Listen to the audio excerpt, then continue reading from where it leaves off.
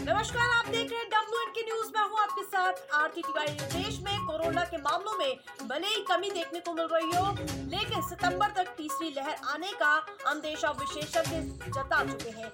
वहीं आज कहाँ दर्ज हुए कितने मामले, देखिए हमारी ताज़ा रिपोर्ट में। देश में कोरोना का कहर 24 घंटे में आए सैतीस हज़ार पाँच सौ तिरानवे नए केस, छह सौ अड़तालीस लोगों की मौत। देश में बीते दिन उनसठ करोड़ पचपन लाख चार हज़ार लोगों का हुआ वैक्सीनेशन। स्वास्थ्य मंत्रालय ने दी जानकारी। काबुल से भारत लौटे 16 लोग निकले कोरोना पॉजिटिव किया गया क्वारंटीन। केरल में फिर बढ़ा कोरोना संकट। बीते दिन आए चौबीस हज़ार दो सौ छियानवे केस एक सौ तिहत्तर लोगों की मौत। महाराष्ट्र में 24 घंटे में आए 4,355 केस 119 लोगों ने गवाई जान। आंध्र प्रदेश में कोरोना वायरस के 1,248 नए केस मिले 15 लोगों ने तोड़ा दम।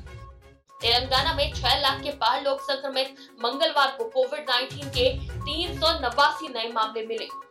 राजधानी में बेहतर हो रहे हालात कोरोना के 24 घंटे में आए उनतालीस नए केस। यूपी में कोविड 19 का कहर 24 घंटे में मिले 28 नए कोरोना संक्रमित। डेल्टा वेरिएंट पर फाइजर और मडाना वैक्सीन का असर कम, सिर्फ़ छाछठ फ़ीसदी ही प्रभावित। कोरोना की तीसरी लहर की तैयारी में जुटी दिल्ली सरकार, सैतीस हज़ार बेड हो रहे तैयार।